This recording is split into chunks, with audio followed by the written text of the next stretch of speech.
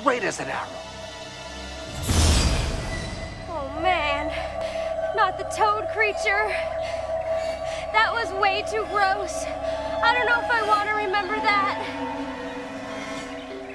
You've got to. Kimberly, try. I have to. He was big and he was ugly. But I was the only one whose weapon could destroy him. So I just did what I had to do.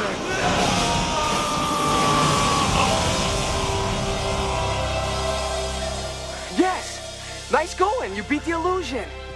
Thank you.